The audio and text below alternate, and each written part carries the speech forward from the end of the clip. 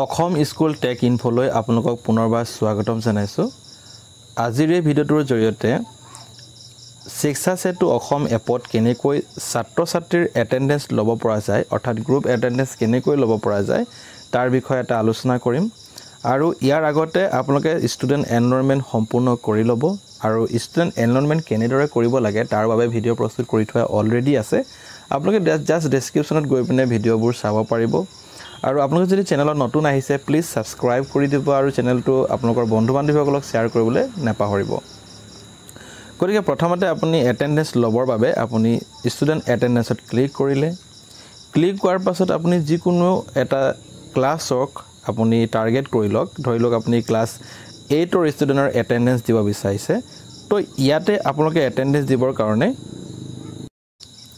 ইয়াত চাব আপোনালোকৰ এনেকুৱা এটা ইণ্টাৰফেচ পাব তাত যদি ক্লিক কৰে ইয়াত লিখা আছে manual attendance is disable for first period তাৰমানে আপোনালোকে এতিয়া মেনুৱেল এটেণ্ডেঞ্চ ল'ব পৰা অৱস্থাত নাই।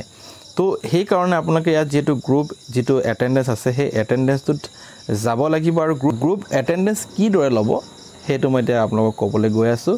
তো তাৰ কাৰণে আপোনালোকে ইয়াত ক্লিক কৰি ল'ব। ক্লিক কৰাৰ পাছত আপোনালোকে দেখা পাইছে তাত ক্লিক কৰি দিয়াৰ লগে লগে কেনেকৈ ফেচবোৰৰ লগতে তেওঁলোকৰ নামবোৰ মিছ কৰি আছে আৰু ইয়াত নাম্বাৰ ইনক্ৰিজ হৈ আছে বা বাঢ়ি বাঢ়ি গৈ আছে তাৰমানে এটেণ্ডেঞ্চটো লৈ লৈ গৈ আছে। আপোনালোকে এইখিনি কৰিলেই নহ'ব আৰু কিছুমান কাম আছে আপুনি ভিডিঅ'টো সম্পূৰ্ণভাৱে চালে গম পাব। চ' এনেধৰণে কাউণ্ট হৈ গৈ থাকিব তেওঁলোকৰ ফেচবোৰ ভেৰিফাই কৰি কৰি গৈ থাকিব। তাৰপিছত আপোনালোকে অৱশেষত যেতিয়া গোটেইখিনি গোটেই ক্লাছত গোটেই ষ্টুডেণ্ট ফেচটো আপুনি যেতিয়া লোৱাৰ পিছত আপুনি কি কৰিব? আপুনি ভেৰিফাই অপশ্যনটোত গৈ ক্লিক কৰিব লাগিব। ভেৰিফাই অপশ্যনটোত গৈ ক্লিক কৰাৰ পিছত আপোনাৰ কিছুমান কাম কৰিবলগীয়া থাকে সেইটো মই দেখুৱাই আছোঁ এতিয়া আপোনাৰ ভিডিঅ'টোত আপুনি ইয়াত কি কৰিব প্ৰথমতে যেতিয়া গোটেই ছাত্ৰ ছাত্ৰীসকলৰ লিষ্টটো ভেৰিফাই কৰি ল'ব ফেচটো ভেৰিফাই কৰি ল'ব তাৰপিছতে আপোনালোকে এনেকৈ এটা ইণ্টাৰফেচ পাব আৰু ইয়াতে তলত আপুনি এপ্ৰুভ বুলি এটা অপশ্যন আপুনি দেখা পাব তাত আপোনালোকে ক্লিক কৰি দিব লাগিব। আৰু যেতিয়া আপুনি এপ্ৰুভত ক্লিক কৰিব যিকোনো এজন সেই আপুনি যিমানখিনি ছাত্ৰৰ ফেচ ভেৰিফাই এপ্ৰুভ কৰিলে এপ্ৰুভ কৰাৰ পিছত তাৰে এজনৰ নাম ইয়াত ওলাই আহিব আৰু তাতে লিখা থাকিব ভেৰিফাই বুলি। তেতিয়াহ'লে আপুনি কি কৰিব?